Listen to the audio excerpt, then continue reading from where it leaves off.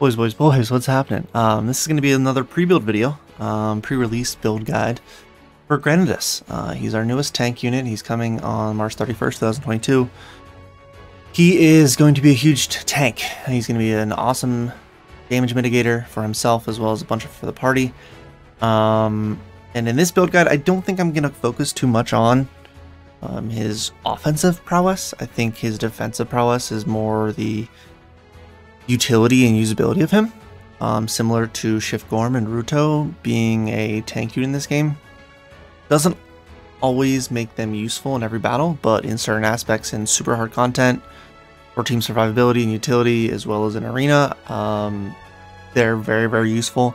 And I think he adds to that. Um, I think he's a combination of them and can be an incredible tank in his own right. So why don't we get into his skills? Um, we're going to go over his kit a little bit, and then I'll show you when we get back into the game um, what exactly I'm going to put on him. So let's look at his skill animations first. Um, S1, pretty quick, a little bit ranged, if you saw, uh, just a little bit ranged. Um, being in front him, this is probably line of sight, pretty small cone AoE type deal that we've seen on a lot of skills before, but um, nothing crazy. Five hits, again, not a physical DPS unit.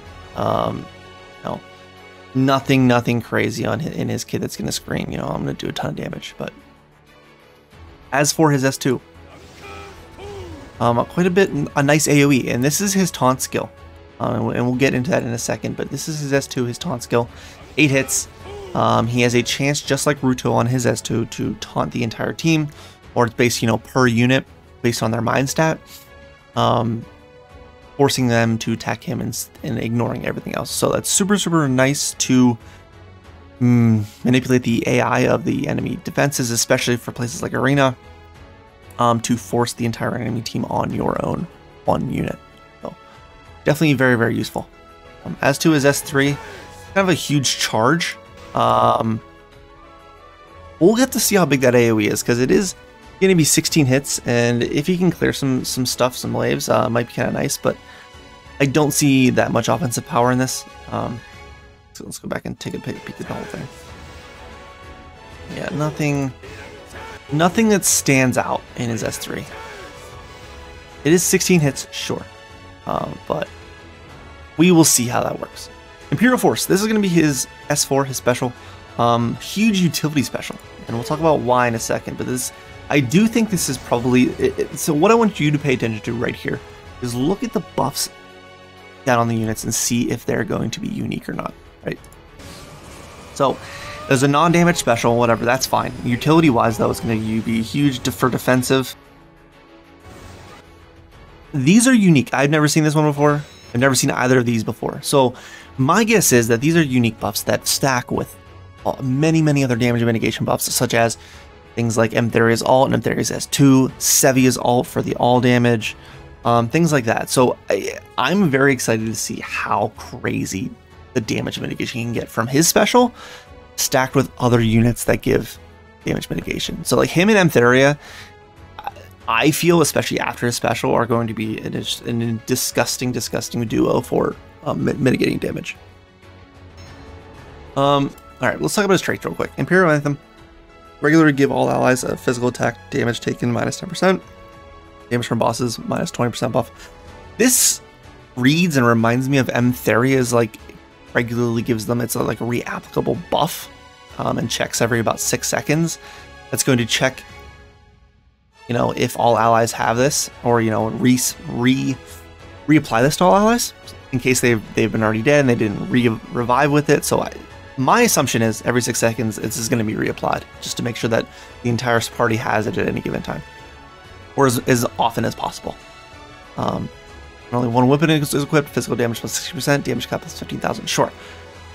Yes, he has some damage cap. It, it's nowhere near, because we're going to be pretty much focusing him on him as being a tank, there's really nowhere near damage potential as many other units. Of course, if he can provide a, a bit of damage to help the team, sure but I don't think that's worth focusing on, to be honest. Trait 2, Genbu. Um, if attribute resistance is at least 1, won't flinch from that type of magic attack, which is crazy. Um, now in PvE, we don't have that many crazy magic attacker bosses, but for things like PvP, if you force your um, Granadas to have positive attribute resistance for every resistance, um, you can possibly make him immune to flinching on every single magic attack. Um, and there are some arks that give attribute resistance. There are some arks that counter attribute drops.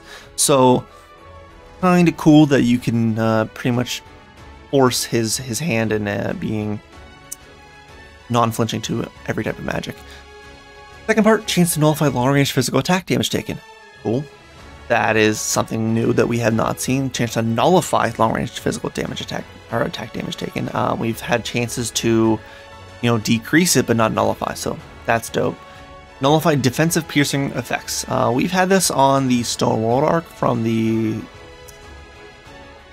um, Dr. Stone collab, being the Stone World passive that has a part of this. This is the first time we've seen on a unit, I believe, that we've seen defensive piercing effects nullified. Um, kind of cool. Nullify attribute, ignore cut effects. This means that things like Trishula um, will not affect his attribute, will not ignore attributes against him. Things like Ephemerity will not cut the resistance whenever they're attacking and things like you know Shivzekis, which cut attributes, which cuts attributes. Amelia cuts attributes um, when they're attacking, so he will not be affected by any of that. Whether or not that's like huge widespread, uh, and I believe this is something for Arena, like that's nothing crazy. What he's missing here, and, and what I'm gonna like spoil by not going through the rest of his kit, is he's missing if he had Slayer nullification, that would be the most disgusting thing I've ever seen. Um, but you know, he doesn't have that, so we're not to focus on it. But that would be that would have been absurd. Um, we're to get into his skills now. So what he has here is some crazy, crazy uniques. And before that, actually, his abilities. My fault. Got ahead of myself. Um, his Granadas's abilities. So skill one, we talked about frontal long range earth combo pretty small range. Um, like y-axis wise, I think he's going to be more cone-shaped, you know, small AOE, but you know, long distance. Um, could be good, but we'll have to see about that. That that requires testing. His S2 though, uh, wide area Earth combo attack around unit. This is again similar to Ruto's S2, um, based on the mind stat, and you know, people have done testing. I don't have the calculations on hand, how high you need to be for your mind to like guarantee, but I believe it's like when it's 4,000 versus like a thousand mind, um, it's like an 80% chance to get the taunt. When it's even, it's about like 25 or 30% chance. So, you know, definitely jack up his mind if you want to be taunting the entire team. Um, can be used to funnel the enemy team, especially for PvP, into your own unit, as well as for PvE. I mean, PvE enemies and bosses generally have a and sometimes have extremely high mind stats, so it might not be that useful. But having him as a lore tank by himself, anyways, is going to be a huge, huge boost to your, um, you know, your glass cannon survivability. Um, skill three spiral charge instantly closes the gap for wider Earth combo attack. Give mind plus 20% buff to all allies. Damage cut plus 4,000. I think this is really cool. Um, being a tank and getting, being able to get into the enemy's faces right away, um, instead of running, is super high value um, giving the mind plus 20% buff to all allies. I assume this is probably a generic buff because it doesn't, you know, I haven't seen an action. Of course, that will need testing, but giving a straight up mind buff to all your allies just for flat out using a skill is great. Um, special is the Imperial Force, and this is what I was talking about before. Give all allies a skill slash special damage taken minus 50% and won't flinch from physical attacks buffs. Okay, so the first thing that happened during that special that we saw before was the flinch from physical attacks buff which we've seen for, I think when Ruto dies, I think he gives the entire team that as well. Um, I think that's the same buff that pops up on Mikasa when she pops her physical attack nullification buff for flinching. Um, but we have not seen a skill slash special damage taken, like buffs for the entire team. So those two buffs at the end, I think, will be stackable with many, many others. As long as it's generally a unique icon, it will stack. So I'm excited to use that as utility for sure.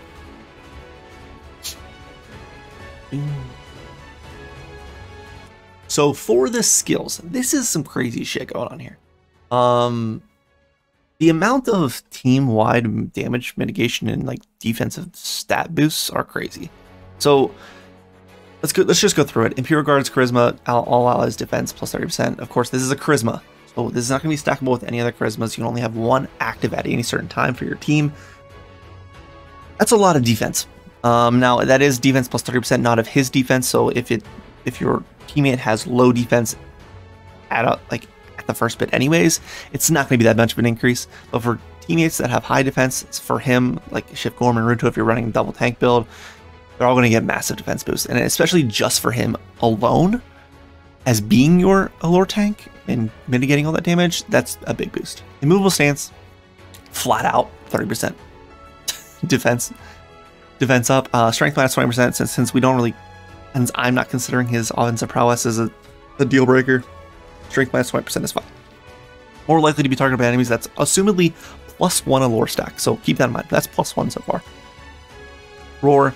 This is something new. Um, remove all strength and defense and mind debuffs from all allies once per wave. That's cool. Um, I don't. this is. Here's the thing. If you can use this in arena off the rip when people have like I don't know Theo off the rip or you know those Gen buffs off the rip, using this as soon as you start the battle is kind of nutty.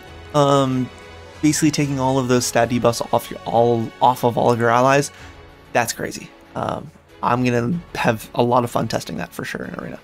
Guard Bash, Guard equipped. When Guard activates, chance to deal damage to nearby enemies and make most enemies flinch. This is kind of like, it seems like an upgraded version of Guard Impact, kind of, um, where it not only makes them flinch, um, but it also deals damage. Now, this also says when Guard activates, a chance to deal enemy damage. So, this isn't going to happen for every time they guard, it's just when the first one activates, not sure. That's going to need testing for sure, but I, I, really, really like this. I do wish he had guard impact as well to have that, like, you know, double chance of flinching, but, you know, nothing crazy.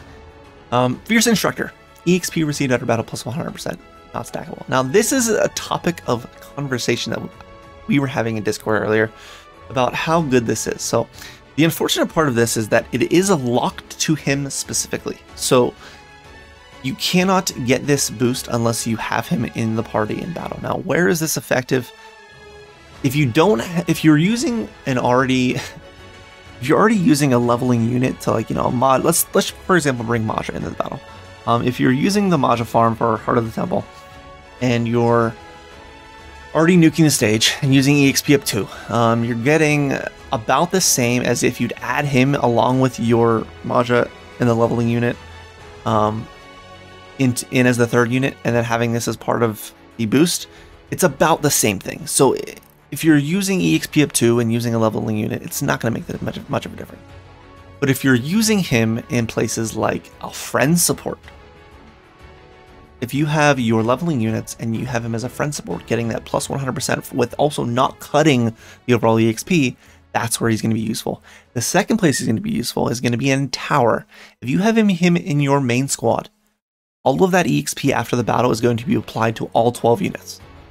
So, if you have him in that battle, that doubles the entire experience received by every single one of those units. I think that's probably the best place for him. If you're using him in the main squad, which tanks are very good in tower anyways, you, you kind of want, if you're just, you can't nuke everything right away, a tank in tower is going to, first of all, a high alert stack tank is going to, you know, make all the enemies go after him, which makes your glass cannons easier, your supports easier to survive, and everyone else at the end of battle gets 100% more experience. Hell yeah. Great for leveling. Um, focus will, duration of strength, defense, into mind, debuffs take that's 50%. This is the first time we see something like this, something like this. And since debuffs usually last about 30 seconds, 40 seconds, huge, huge value out of this, I think. Um, not necessarily for PvE, again, for PvP. a lot of things are a lot of especially for tanks it's going to be pvp related. Either extremely hard content or pvp related. Um, they're not really generally useful for you know your run-of-the-mill story wave clearing kind of stuff but for harder content absolutely. Chivalrous mindset spear. Um, this is interesting because we've had chivalrous, chivalrous mindset before but it's only been swords. So i think from the maintenance they've decided that they're going to start adding these uh, little additives on the end of chivalrous mindset for spear. Um, and this is just cool. So the other one they're going to change back to Chivalrous Mind colon sword. This is going to be for spear. So when spear strength and armor is equipped, both the spear strength and the armor defense plus 50%. So the armor defense goes up 50%, the spear strength goes up 50%. Um, that's just nice to have in general, just for armors that have, you know, 300 plus defense base. Um, that's going to be a nice little boost. Guard Vitals, first thing, first time we've seen this, critical damage taken by 10%, great. Resolve up max, awesome defense and mine plus 15% each, solid value for him. Stone Enhance, this is one of the first ones that we've seen I don't care about the earth attack damage. What I care about is the physical damage taken minus 15%. That's another stack of physical damage taken dropped, um, which is kind of crazy. Now, with those uniques said uh, said and done, we're gonna go, go we're gonna go over what we can possibly add on him in game. All right, boys, we're in game. Um, I'm gonna use Gorm here to use as my little template for what we're gonna build for Granadas. Um, as you see on the right over here, we're looking at you know all of the skills that have SC listed is stuff that I'm going to be adding to his kit, um, totaling up to 90 SC. And the rest that's not listed as any SC are going to be what he gets innate in his kit for Granadas. Um, so why don't we get into it? So the first couple things that I'm going to add to him is you know, I have extra SC, SC left over from from the kit that I'm using. Um, but I want to add some HP ups, some defense ups to, you know, max out his. So, so actually surprisingly, he only has resolve ups in his kit, both resolve up 3 and max. Um, he doesn't actually have any defense ups. He has auto fort, sure, and he has a bunch of defensive other passes, but what those get multiplied into are his base base stats, and I want to jack up his defense as much as I possibly can. So he doesn't have defense up 1, 2, 3, 4 max, or max in his kit. So I'm adding 1, 3, 4 max um, for a total of, what is that, 15 SC. So definitely pumping that into him. I am going to be adding up HP at max to boost his HP quite a bit, or up 20%. But the next up he has has in his kit is Resolve 3 and Resolve at max, are, which are both 8 and 15% both to defense and mind. So that's going to be nice to have for his statistics, for his stats. Um, he does have guard and steel guard in his kit, guard being, you know, a 10% chance to guard, um, steel guard being, I believe it's 25%, 50% damage reduction. One of those two um, for while guarding damage reduction. And then we're going to add Vigilance. Vigilance is going to be another 2 SC for another 10% guard rate. So at, at base, he's going to have 10% guard. Um, he has Heal Guard in his kit, which is nice to see because, you know, I, that is a, one of the main components of, of the full guard kit is having, you know, getting healed whenever you're guarding. Magic Guard I did add in here. Um, this is going to play a big role into his effectiveness as a tank, I believe, um, for which which way I'm going to be building him. Now you probably won't need this if you're using Dusk and not using any SC or MP, but he does have a spell. I believe I do believe Roar is a castable spell, and it might cost MP, so you might need this regardless if you're using Dusk anyways. Um, if you plan on using Roar. Uh, guard charge though, plus one SCT for every time you guard. Grand Guard, boosting that um, uh, the resistance to be essentially getting guard broken, which makes you faint sometimes. Um, and then we're looking at X Guard. X Guard, for an example, I'm going over to Ruto because I have it set on him already. X Guard is going to be one guard's equipped, damage taken during guard minus 50%. Sweet. When HP drops to 50% or lower, guard rate up. Um, this is an increase in guard rate. I believe it's another 10% chance. Um, I am actually going to go look at that right now. Yes, it is another 10% chance to automatically guard attack. So 50% or less HP, 30% chance to guard, which is kind of sick. Um, what we're looking at next, though, going to be Royal Armor. Uh, actually, you know, Guard Vitals is something new that we've seen, uh, that we talked about before. It is minus 10% critical damage when guarding, um, so that's going to be of note. But Royal Armor. Royal Armor is something that I definitely want to add on, add on him. It basically reduce the ch chance of receiving critical hits by 50%. It essentially makes the attackers that against you have 50% less critical rate. So if they have a 50% critical rate innately, they'll have 25% 25% chance crit rate now, or you know, 20% chance crit rate, 10% now. So this is going to be nice for his damage mitigation overall, because as we know, in especially in PvP, crits do matter. Um, and if he's taking less of them, all the more survivability. Night Zone. Night Zone is cool um, more likely to be attacked. This is a plus two allure stack. So counting along with immovable stance, he has plus three right now allure stacks innately. Um, the higher allure stacks you get, the more likely enemies AI are going to be targeting your unit. So we definitely want that on him being a tank and all. Uh, frontal physical attack damage plus 10%, don't care. Frontal physical damage taken though, minus 10%. So as long as he's keeping the enemies in front of him, he will take physical damage or 10% less physical damage taken. Thick. Uh, Knight Mastery, that is on Ruto, which we've seen before. That's going to be when enemy type is Knight, which we assume he is. Defense plus 10%, physical attacks against are effective against soldiers. That's essentially Soldier Slayer. And damage from soldiers minus 10%. So any, any soldiers fighting him will have less damage against him. And being a knight, he's going to have 10% more defense. So that's really, really nice. Um, as for what's next, Human Shield. Human Shield is something that we have on him. Um, basically, damage from humans minus 20%, being soldiers, knights, snipers, and slayers. Very, very nice for places like Arena. Now, there's, there's a lot of stuff in PvP that are non-humans. So this is pretty much a PvP skill. Um, Auto Fort, banging. Uh, love the continuous plus 20% fort effect, uh, plus 20% defense. Love that. Love to have it. Um, stone armor. This is going to be continuous stone wall effect. This is essentially minus a continuous minus 20% thunder damage against him. Now, whether that's useful or not for null content, I don't know, but you know it's there. Um, I am going to add Awaken onto him. Reason being, I think he's going to be relatively hard to kill. And whenever he gets into that like last 30% HP department, he's going to get this jacked up, first of all, big heal and 50% defense, mind, and movement speed buff.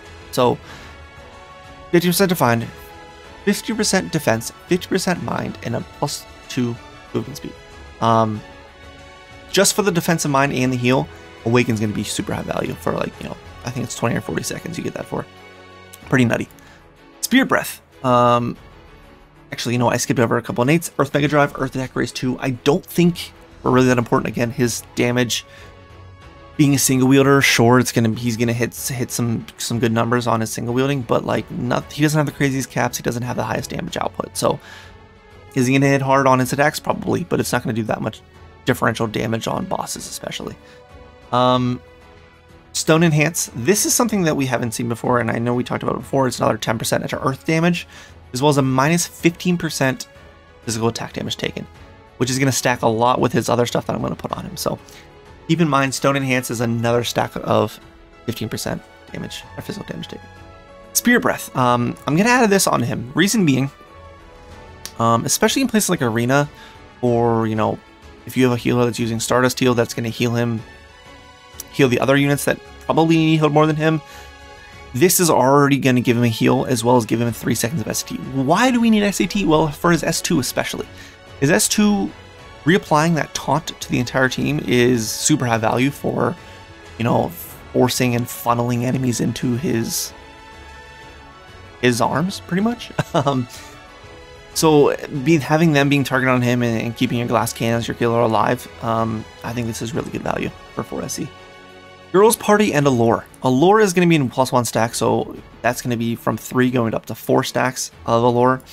Girls Party, um, being him being male, more likely to be targeted by enemies. This is going to be another stack of Allure. So this is plus five stacks of Allure, which makes him much, much higher targeted than almost every other unit in the party, as long as you don't have Allure stacks on others. And you can also run reject stacks on others as well.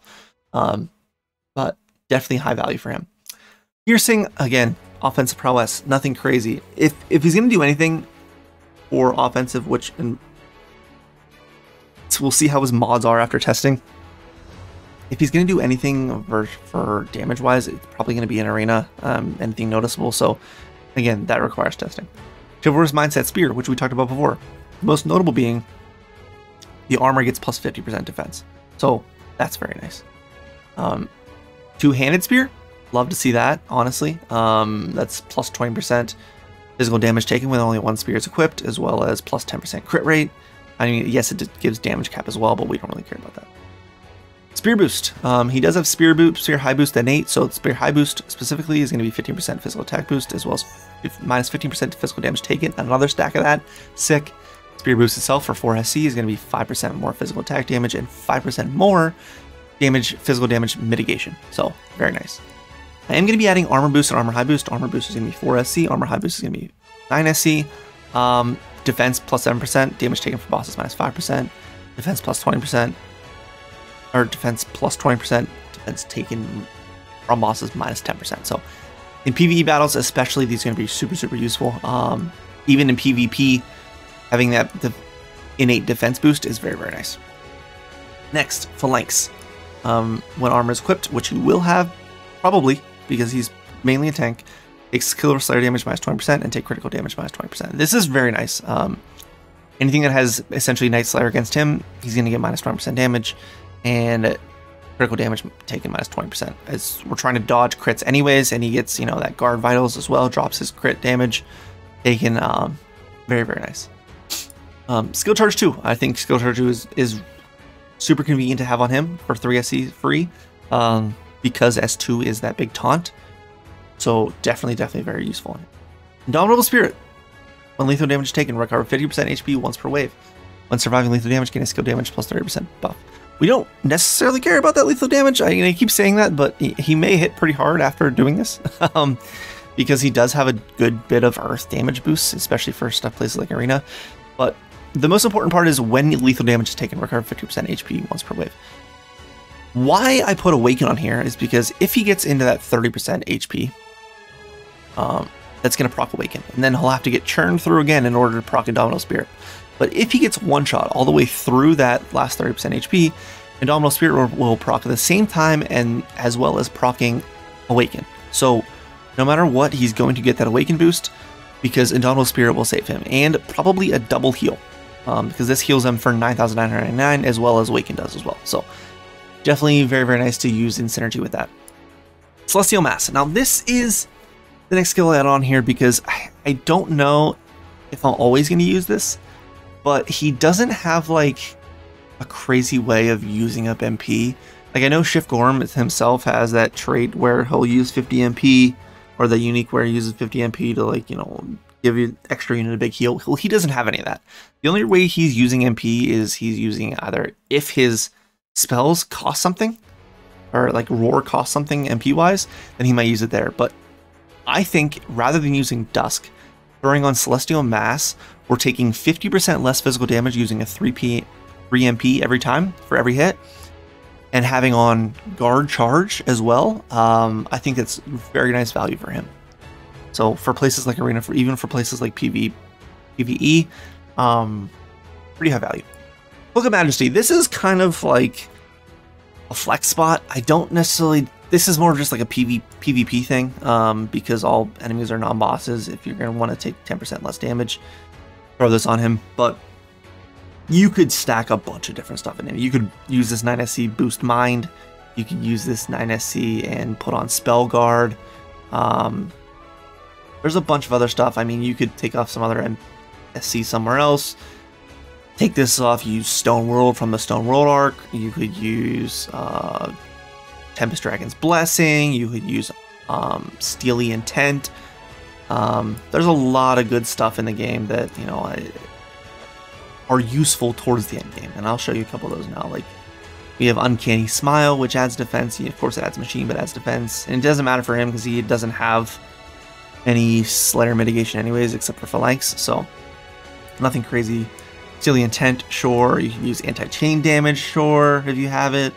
Um, Automail equipped could work for defensive purposes. From zero, especially, is a really, really good skill for places like Arena. Like I said, for Tempest Dragon's Blessing. You use Sulfur Arena for more Allure stacks. Stone World for sure is a very, very good skill. Of course, he already nullifies piercing, but adding another 20 defense is nice for 11 SC. Um, Christmas Carol definitely is a very good one if you have it from the Christmas ark that just came out in December. Um, I know there's a new formation. I think it's like the Wall of Aldana or something that's coming on the new ark. You could probably use for that. Not this one, but the other one that's coming out. Like, there are a lot of really good things that you could put on him um, that I just haven't listed in this build. Um, and that's definitely something to... Um, hopefully Buddha does get him and is able to make another tank build. I know he did a great job with the Shift Gorm build that just came out. So definitely look out for that if, if we get that. As for equipment, now, I'm going to remove these because this is kind of irrelevant. Um, as for spears, redo that, spears. What we have in the game right now. Um, Divine Beast Purga Spear is going to be our one of our best ones for just because of that 4 4 strength and defense 80%, or 80, 80, 80 defense. He also it also has piercing effects and strength up. So if you're going to be using him in a place where you know you want that attack power, sure, this is going to be one of the better better uses for him. Um, Celestia Halberd, of course, being a spear is going to give know, physical attack damage. Enemies are more likely to faint. Sure, were usable. Um, Rafaria, again for attack, sure, that's to be okay. Arcana Sphere Quiddity. This is kind of dope. Um, this will be really good uh, in arena, or not arena, but for tower. Like I mentioned before, if you're using him in tower, it's to be, you know, get that physical attack bo physical attack damage boost, as well as a damage taken boost when guarding, and being able to pierce defenses for attack. So, not that crazy. If this was a defensive passive at the end here, like, you know, another guard passive or, you know, take damage minus 25%, sure. Be kind of sick. Um, Dragoon Spike is something of note. SCT, plus, SCT speed plus 10% just for that S2 taunt to get back pretty quickly. Um, Poison Illness and Stun Resistance plus 1 is very nice to have on the Silvertip Spear, as well as it has pretty good defense and mind stats. Um, most spears do have some defense stats in them. I'll keep that of note. Chance for physical attack damage plus 50%. This Shogatsu Potent Pine Trident, I believe, was from the Christmas event, which is pretty crazy. The 50%, I, I, don't remember the chance, I think it's like 1 or 2% for the chance of physical attack damage, and he's only single wield, so this isn't going to happen often, but it is Earth um, attribute, and you can put this on him if you feel like it. Um, honestly, nothing really else that crazy. I, I would pick between the Pergasphere, Celestial Halberd, Rafaria, and Quiddity. Those three. Silvertip Spear, definitely because of the plus three resistances for it, um, but those probably those five spears I'd probably choose from. As for armor, uh, as you know, there are some really good armors in the game in Godforge. So those are the ones we're going to be looking at. Tramplate God Gold, Crystal Millennia. Those are nasty. Those are probably the two best armors in the game outside of like Pades. Um, yeah, we're to stick to those. Tramplate God Gold is the best flat out tank armor in the, armor in the game. Increases rate of attracting enemy attention, plus one allure right there. So now you're up to six if you put this on him. Physical damage taken at max plus 40, it's 20% damage taken. Um, anything below it is 10%, I believe. And it does have a, I think it's 20% chance to nullify physical attack, physical damage. It's 10 or 20%, I can't remember. But the absolute best armor or tank armor in the game. Versus Millennia is not a fair is not a far shot from that. Physical damage take minus 50% and reduced chance to receive criticals, which stacks again with Royal Armor. And not additive, but like multiplicative, they're independent stacks. So will work. Give some nice res. And then their defense stats. This God Gold again gives 650 HP, 368 defense, which that gets multiplied by plus 50% based on Chivalrous Mindset Spear, another 270% mind. Crazy. Crystal Millennia, not far behind that, but those are the two best armors for sure. As for accessories, um, let's go through them. I think I have a bunch favorited that I really, really like. Um, Rouge of the Seven Butterflies again, boosting HP by a ton, giving you know some stats, sure, but giving continuous regeneration and magic barrier effect, very nice. Radiant Soul Crystal, giving a bunch of uh, attribute resistances as well as some stats and some HP plus 10% flat out with SC recovery speed for that S2. Nice. Auto revive on Ring of Wisdom, nice to have um, Sphere of 4 Jewels for that, you know, bunch of attribute resist for sure. Um, Adventurous Dog Tag with that heal. And your Sphere of 4 Jewels.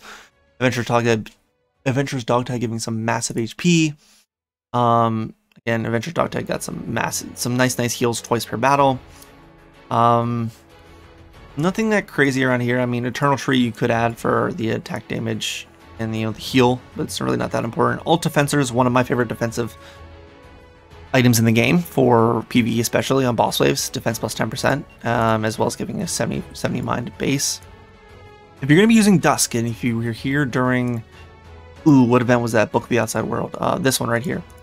I don't remember the event. That was pretty recently. Uh, but at max MP, defense slash mind plus 8%, this stacks with Dusk. So if you're going to be choosing to use the Dusk route, absolutely use that. Paladin Shield, another plus one lore stack. And the next one I'm going to talk about is the Imperial Shield, which if you were here during the White Knight Melza event, um, or, or, the arm, Armored Holy Shield is another plus one allure stack.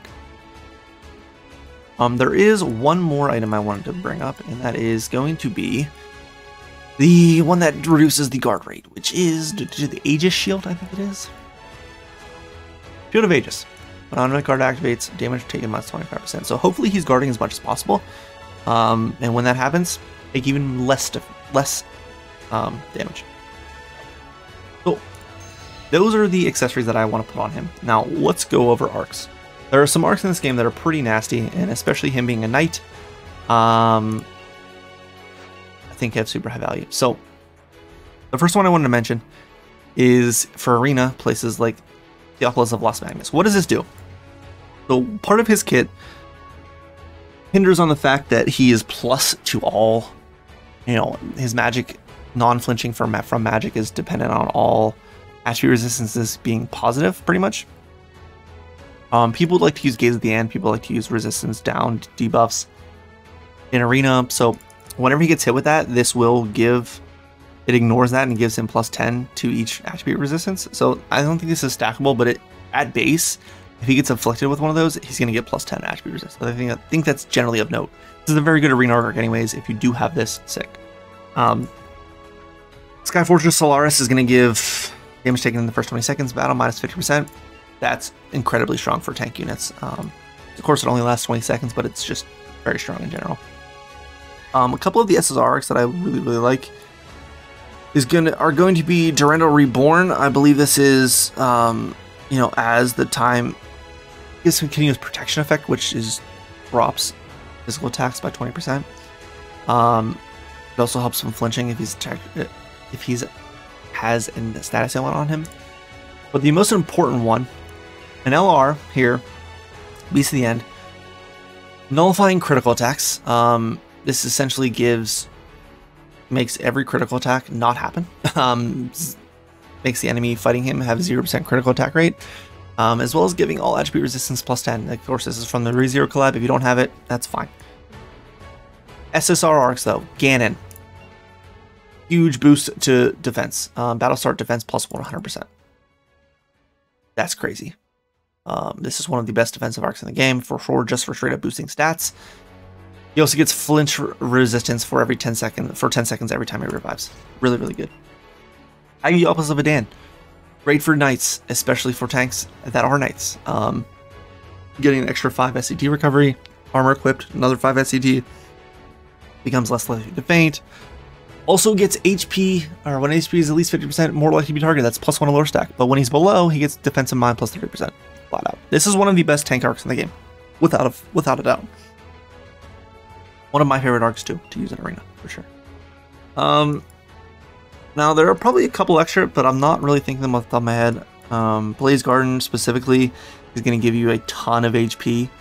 Um, just flat out HP plus 20% if you want to make him super super thick. Thick boy Granadas, um, but you don't have to do that obviously. Um, Ancient Weapon Lugan is also one of the best tankers in the game flat defense mine plus 15% that, that applies pre-battle, damage from critical hits minus 50%, and damage from bosses minus 50%. With a huge defense and mind boost with HP, like this is a crazy, crazy defensive ark. Um, and very, very useful in tanks. Um, I think that's probably about it. Uh, I don't know um, if these will all, of all these instances of arks and equips and skills will all be applicable whenever he comes out, but I'm really, really excited to see what he can bring.